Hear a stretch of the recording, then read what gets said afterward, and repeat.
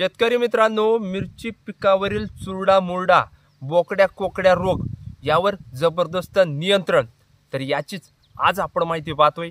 जय शिवराय. नमस्कार शेतकरी मित्रांनो. मी मिलिंद भोर.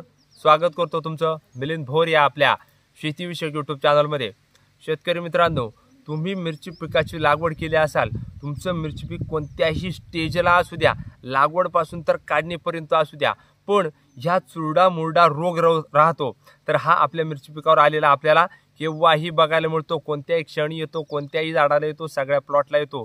पण हा रोग का येतो? हा रोग आल्यानंतर उपाययोजना कशा आपल्याला करायच्या? हा एकदाच फवारणीतून जाणार आहे का? तर नाही याच्या आठ दिवसातून दोन तीन असतील किंवा पंधरा दिवसातून दोन चार फवारण्या ह्या बॅक टू बॅक करणं गरजेचं आहे. जेव्हा तुम्ही या फवारण्या करशाल तेव्हाच तुम्हाला रिझल्ट येणार आहे आणि तुमचा मिरचीवर व्हायरस चुरडा मुरडा रोग हा बरा होणार आहे.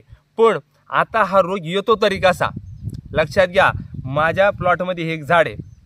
हे मी तुम्हाला लाईव्ह तुमच्या डोळ्यासमोर दाखवतोय. हे बघा याला जो काही कोकड्या बोकड्या रोग म्हणतो आपण तर हा आलेला आहे. पानं गोळा झालेली आहेत. खालून पानं चावलीत वरून देखील पानं चावलीत. गोळा झाली म्हणजे चुरडा मुरडा रोग.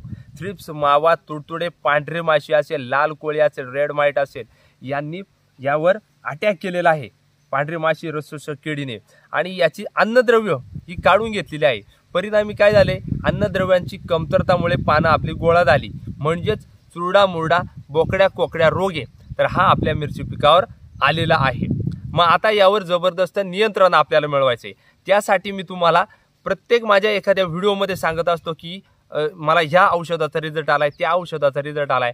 म्हणजे मिरची उत्पादक शेतकरी मी असल्यामुळं मला प्रत्येक ज्या औषधांचा रिझल्ट येतो मी ती औषधं घेतो आणि त्यांचा रिझल्ट घेतो आणि ती तुमच्यासमोरच सांगण्याचा प्रयत्न करतोय. तर त्यातलंच आज मी तुम्हाला दोन फवारणी दोन औषधं सांगणार आहे.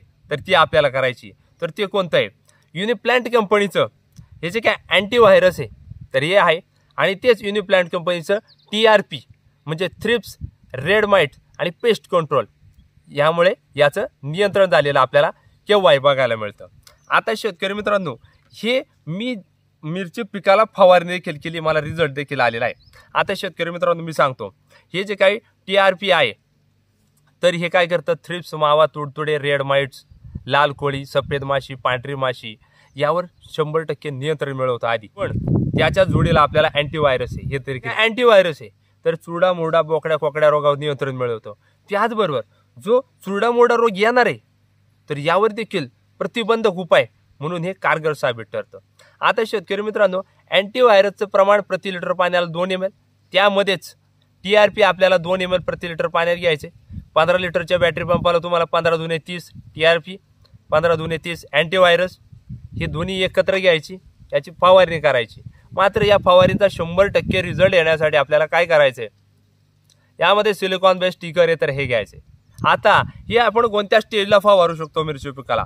लक्षात घ्या तुमच्या मिरची पिकाची कोणती स्टेज असू द्या कोणती अवस्था असू द्या. लागवडपासून तुम्हाला व्हायरस आलेला दिसलाय चुरडामोरडा दिसलेला आहे तुम्ही फवारणी करू शकता. मिरची पीक तुमचं काढलेलं आलंय तरी देखील तुम्ही याची फवारणी करू शकता. आठ दिवसातून दोन फवारण्या पंधरा दिवसातून तीन फवारण्या. बॅक टू बॅक फवारण्या घ्या पूर्णपणे ऑर्गॅनिक आहे. कोणतेही साईड इफेक्ट नाही. याच्या तुम्ही फवारण्या केल्यानंतर तुम्हाला शंभर टक्के रिझल्ट हा येणार आहे. त्यामुळे शेतकरी मित्रांनो हे जे काय अँटीव्हायरस आणि टी आर पी तुम्हाला घ्यायचं असल्यास डिस्क्रिप्शनमध्ये नंबर दिला जाईल. स्क्रीनवर तुम्हाला चालूमध्ये नंबर देखील दिसत असेल. यावर फोन करा. मिलिंद भोर या आपल्या शेतीविषयक यूट्यूब चॅनलचं नाव सांगा. तुम्हाला डिस्काउंटसहित हे घरपोच प्रॉडक्ट मिळणार आहे आणि तुमचा फायदा झाल्याशिवाय देखील राहणार नाही.